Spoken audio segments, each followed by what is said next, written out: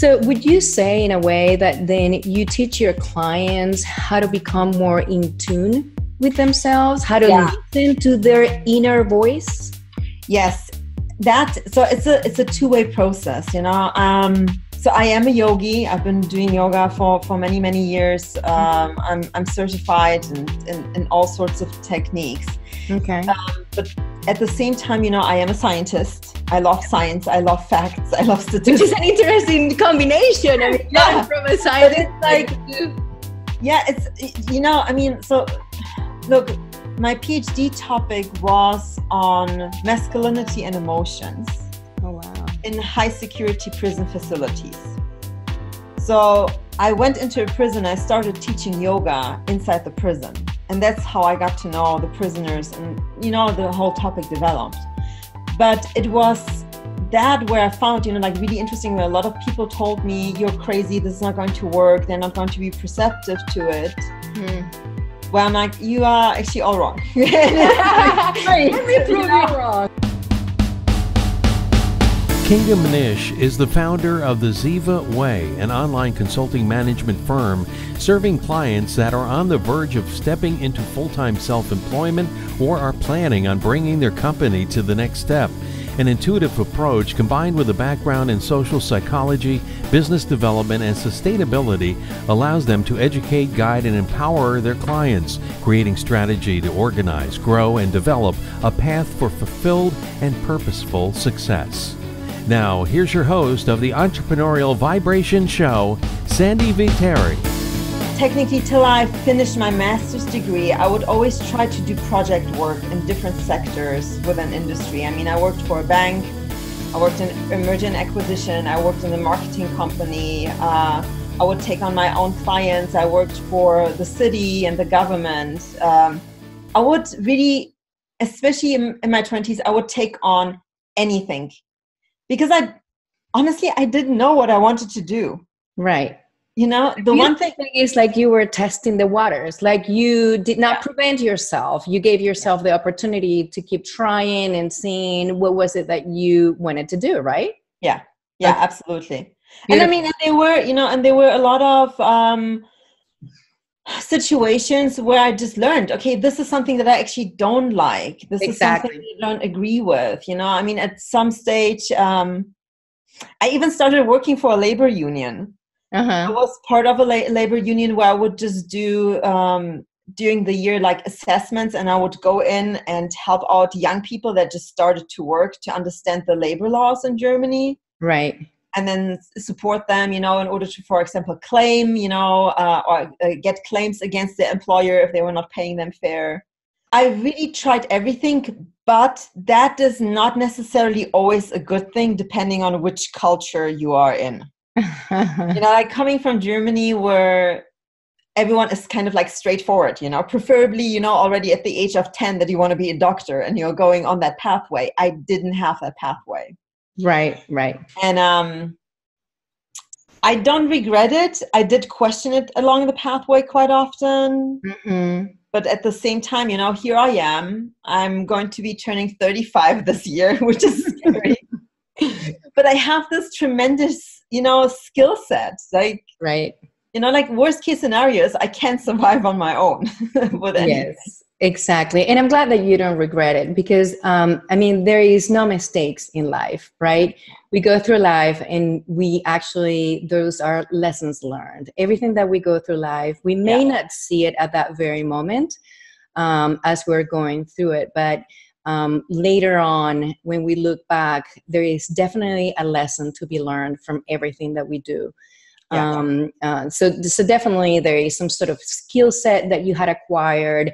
There is uh, people that you met that touched you in a way, or maybe people that you touched that you had to come across um, in in that you had to teach something to them so absolutely there is there is a, a reason for everything that happens in life I, I, I strongly believe there's that one saying you know that at the end of your life you're not going to be regretting the things that you have done but you will regret the things that you haven't done i totally agree with that i totally agree with that um, and, and I also um, heard that you um, also worked or did some work for nonprofit organizations as well, or still do.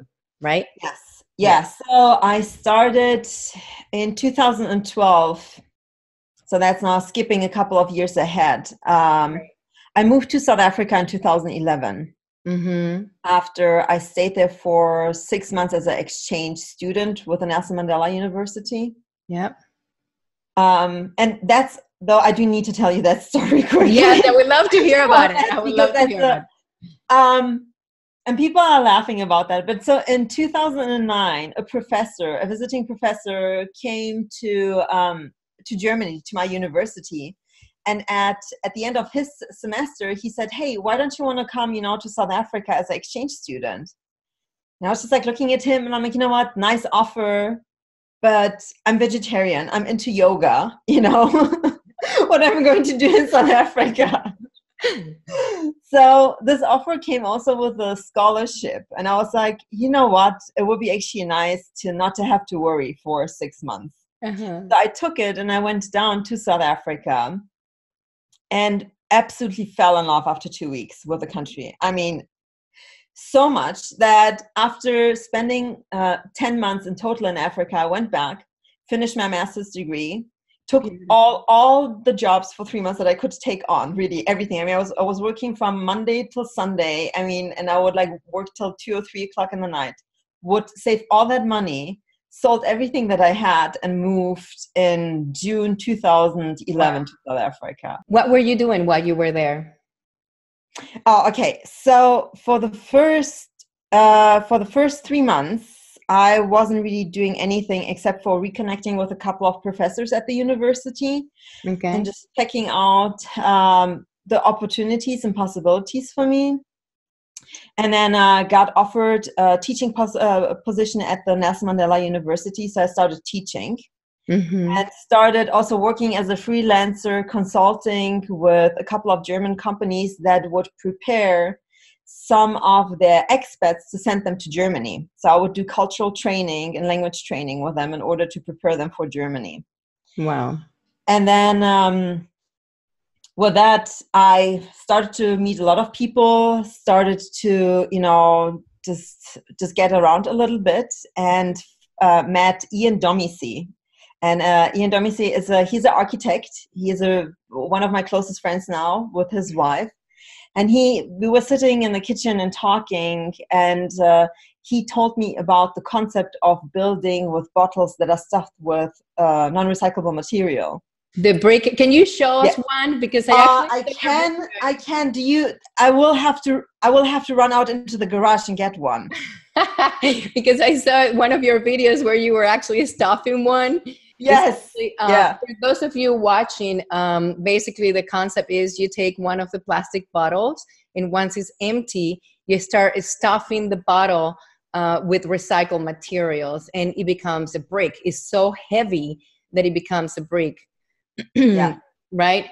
Um so you can see it on my on my instagram feed on my website. I will be uh, i'm posting more about uh, about that Right, there is a video there. Yeah. Um, so, so you're officially um, building those, creating those bricks now, and um, what what do you do with them? Well, we collected over the years eighteen thousand eco bricks. Uh, we are currently working on the on a really big project. It's the first two-story eco brick building in the world, so it's going to be a two-story school made out of those bricks you know because honestly the so the nonprofit work is what taught me the most okay. all of it. Um just because we had to you know i mean find a lot of team members very quickly manage communities and i mean by managing communities like 100 200 people at a time at workshops. Mm-hmm. and um having a nonprofit i mean a lot of people you know confuse nonprofit with not being able to a achieve something or maybe not making money. So we are not making money right now with a nonprofit. But you achieve a lot. You achieve a lot. Yes but we are achieving a lot. And um, of course, if you are uh, if you have a nonprofit organization, you could also be earning, you know, uh, a salary with it. So there are tons of people that I've met in the nonprofit world that would uh, or that that are earning actually a good, decent salary, you know. But at the same time, they are doing the things that are that they really love. Right. So with the uh, so um, Ian and I and two other members, we formed officially in 2012 the EcoBrick Exchange Project in South Africa. And it has been running since then. So we always, you know, give ourselves like a pat on the back for being able to survive, you know, seven years in the nonprofit world because that's really not easy. Wow. And um, we were awarded with the United Nations Seed Award in 2015. Congratulations. Oh my God. Yeah, I went to Kenya to pick it up. You know, it was very exciting. Uh, in the meantime, we received a couple of other architectural rewards, you know, that th- thanks to Ian, because Ian has done a truly a tremendous job with the architectural uh, work on that part. Mm-hmm. And we've been, you know, slowly going. And uh, everyone that is part of the nonprofit organization is also at the same time an entrepreneur and has his own business, you know. So that's it's quite interesting because we've been, you know, just learning along the way. And along the way, that's when you're actually starting to really truly learn a lot of things. Right. Right. I mean, and that's what people kind of like underestimate. To your most recent you know entrepreneurial experience now the ziva way Yeah. um, is is your consulting service agency for entrepreneurs uh, that wants to create a sustainable and thriving business Mhm. and is getting emotionally organized Yeah. right um, so why don't you tell us a little bit about that Well, so the concept really falls back on uh, my my PhD research, where I started um, digging a little bit deeper into understanding what emotions are and how people are understanding emotions. And um, it's truly about understanding that a emotions are constantly everywhere in every communication and interaction that we're doing throughout the day. So there is no such thing as a non-emotional interaction. So, you know, I mean, and I think that was one of the most important things that I've kind of also realized for myself because especially as a woman you know when you work somewhere in the industry or you you know you're you're working uh, in a corporate environment how often will you hear that you as a woman you're too emotional? Right No, yes. And that you shouldn't be emotional you should be just rational like you Right, should be just right. rational. And so it's impossible for a human being to be just rational. There's Right. no such thing. Everything that we're doing you know we're doing it according to how we also feel about something we have a heart. We have a heart. We have feelings. we have a heart of course. And you know and we have an ego on the other side you know that will pull us into one or the other direction. Yeah. So um, quite often, you know, I've realized working with people um, and consulting also with smaller businesses is that people will sometimes act um, because of the wrong feelings, you know, and they don't understand necessarily if this is something that they truly want or that's something that's that's really truly good for them. And especially in the world that we live right now, with all the social media around you, where you're constantly being blasted with all the photos and videos and people, you know, I mean, I, that, that concept where people are constantly posting, you know, earn, uh, follow my concept and you will earn a six figure, you know, income. And that's going to make you happy. like, you know, right right like, you know, I'm like, okay, so hey, what does it mean to have a six-figure income, and does it really going to make you happy? Because research shows that, you know, there's a, I think you need to earn around in the U.S. it's about seventy-five thousand dollars a year, and if you earn more than that, you're not becoming happier. right. So, yeah. so it's truly, you know, like understanding when you're starting a business, what do I want to do and how do I feel about something? So, do I want to do something because this is what everyone is telling me to do? Mhm. Or am I going to go on the pathway because I'm really going to follow my dreams and this is something that I feel good about? Mhm. And yes, the first one might be, you know, you might be able to earn money a little bit quicker.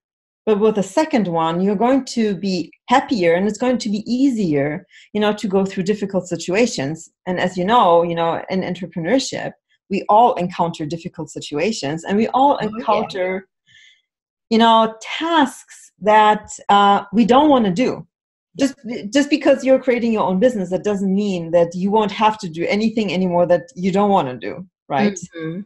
Preparing your taxes you know mm-hmm. still like keeping all the invoices. Even if you have a bookkeeper you have to still you know do certain things. Right.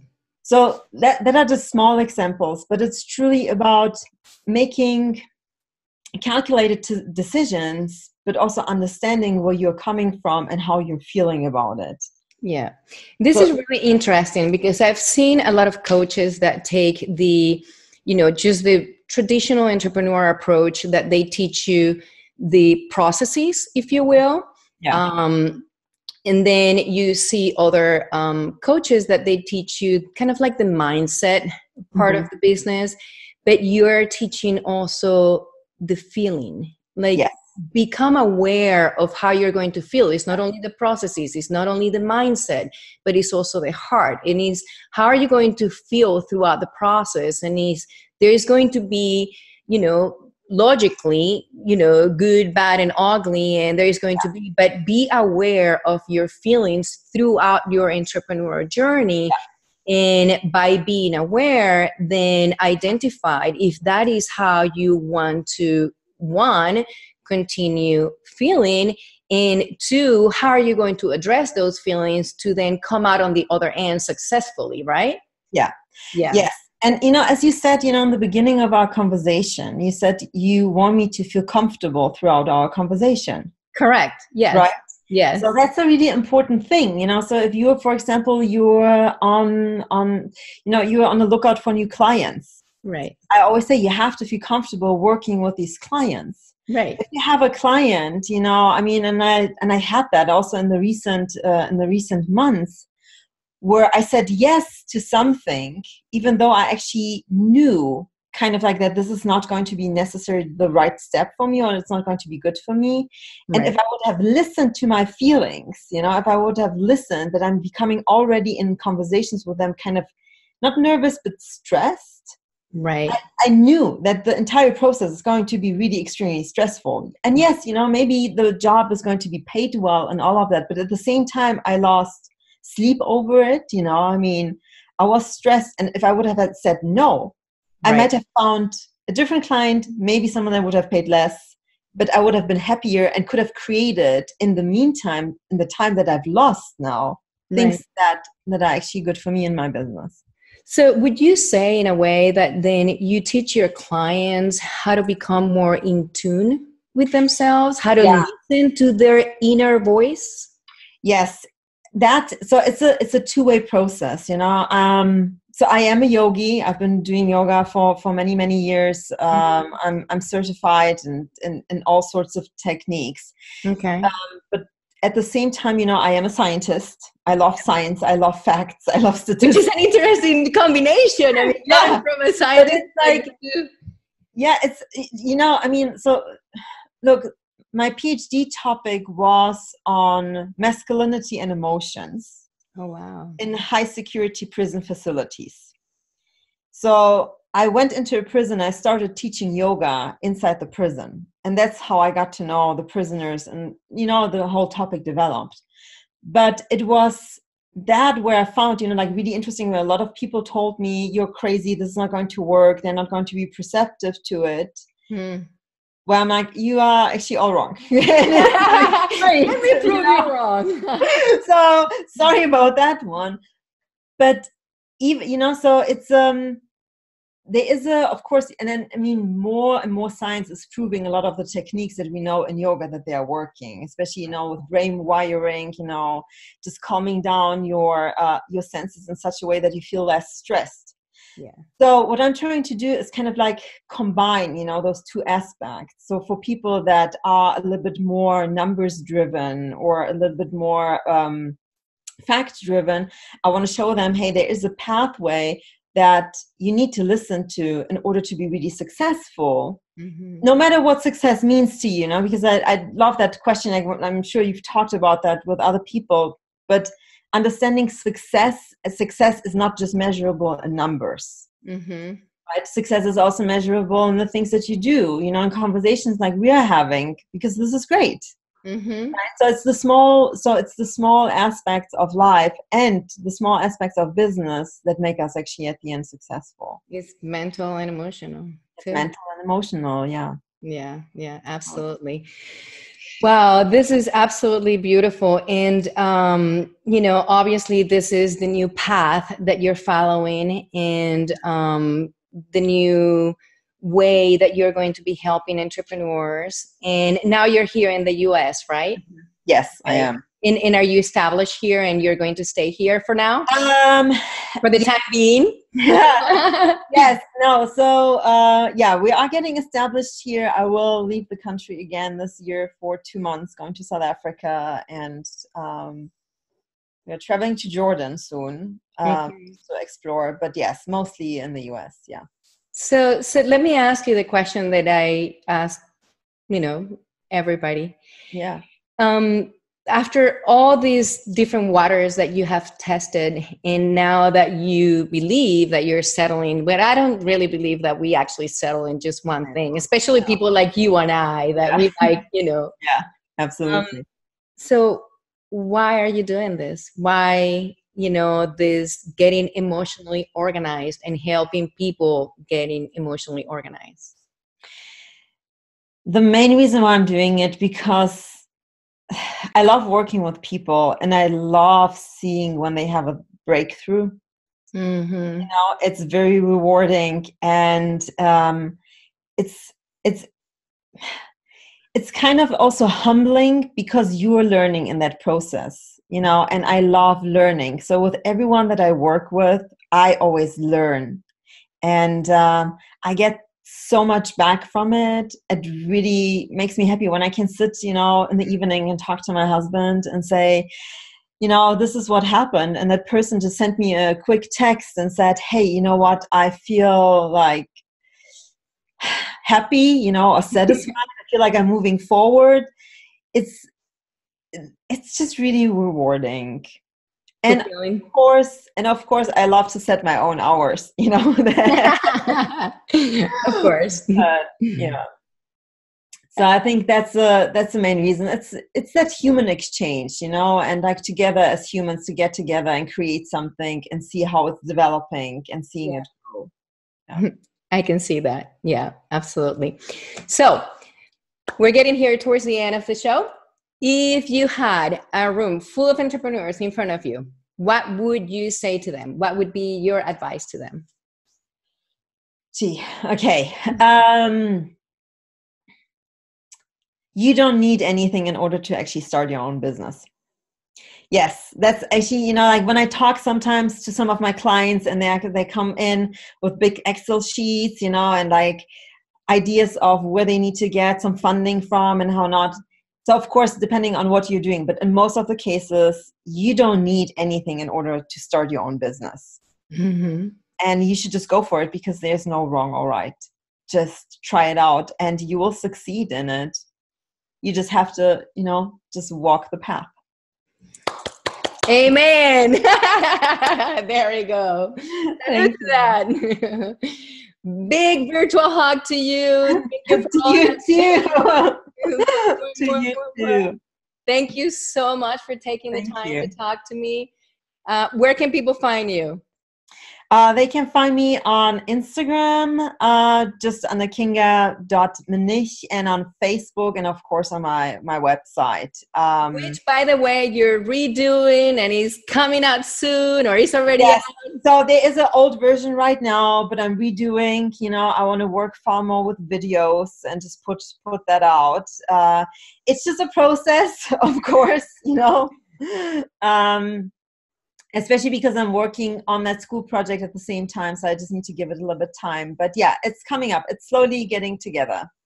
Yes. So yeah. moving forward is better than not moving at all. So you're doing it, and you're doing an amazing job with everything that you have going on. So really appreciate that. Thanks. Now we would love to hear from you. Tell us on the comments below. Was this advice helpful to you today? And how can you put some of what you learn into practice right away to start to see a difference in your entrepreneurial journey? Also, don't forget, if you found this podcast helpful, make sure to subscribe, share with your friends, and hit the like button so we know to make more podcasts like this one.